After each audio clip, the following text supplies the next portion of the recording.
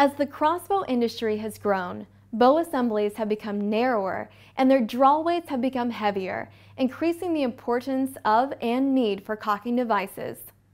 The most common cocking device is a simple rope cocker, and probably every manufacturer sells one or more versions of the rope cockers. The standard version consists of a high-strength synthetic cord strung with two pulley hooks and with straps or T-handles at the ends of the cord. The rope cocker reduces the amount of force required to pull a bowstring by 50%. Follow the directions that came with your cocking rope so that the rope is placed on the correct location of your bow. After placing the cocking rope on your bow, per the manufacturer's instructions, grasp the rope handles.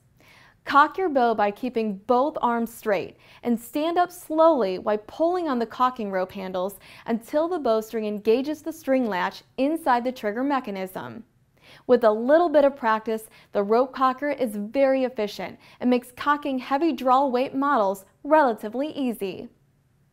There are versions of this type of cocking mechanism that use a cocking sled rather than pulley hooks and some that draw the cords by means of cranking mechanism which may be integrated into the buttstock or attached to it.